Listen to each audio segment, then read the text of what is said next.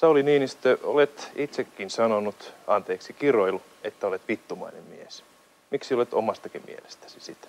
Paremminkin olen tainnut vastata tuon sisältöiseen kysymykseen, ja, joka minulle heitettiin tuossa muodossa.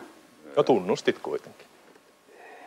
Niin, se on sellainen tilanne, että jos monet ovat käyneet nurkan takana sellaista tarjoilemassa, niin mitäpä sitä sitten kiistämään, jos tällaista mielipidettä on. Tiedän, että on toisenlaistakin.